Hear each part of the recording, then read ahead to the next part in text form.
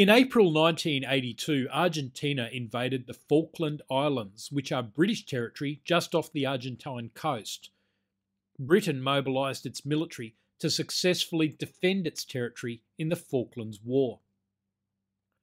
During a debate in the British Parliament, a number of parliamentarians made statements opposing the war, and then another politician, Cyril Smith, gave a radio interview where he suggested they were traitors. They sued for defamation.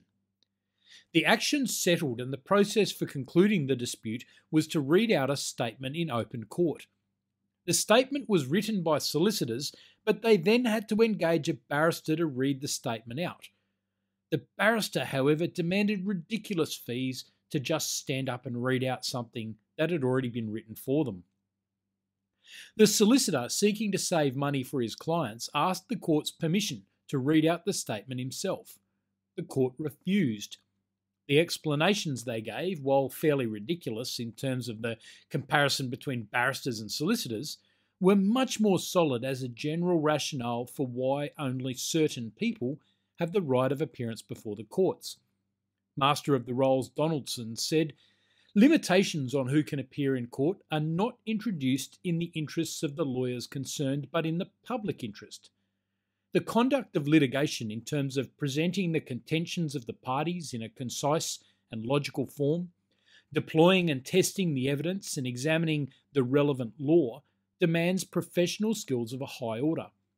Failure to display these skills will inevitably extend the time needed to reach a decision, thereby adversely affecting other members of the public who need to have their disputes resolved by the court, and adding to the cost of litigation concerned. It may also, in an extreme case, lead to the court reaching a wrong decision. Nowadays, of course, solicitors have the same right of appearance as barristers in every Australian court. While barristers do have a much clearer focus on the business of advocacy, it is no longer believed that solicitors lack the necessary professional skill.